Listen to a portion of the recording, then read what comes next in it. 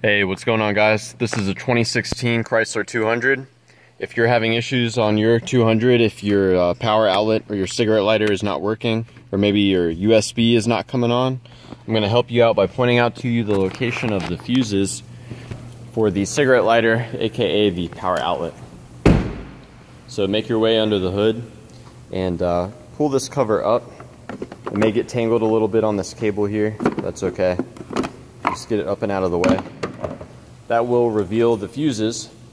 And the fuses for you to check are gonna be these little 20 amp fuses. So this one right here, that is for the cigarette lighter. So just pop that out and you can check to see if it has continuity, see if it's blown there. This one is good, so you'll want to put it back. The next 20 amp fuse for you to check is going to be right here. That is for the uh, power outlet. And if your car is equipped with an inverter, a power inverter where you can plug in like regular household stuff, that's going to be this larger 30 amp fuse right there. And you can read more about the fuses on the back in this very small print. So yeah, I hope this helps you guys out and let me know if you guys have any questions. Oh, and one other thing.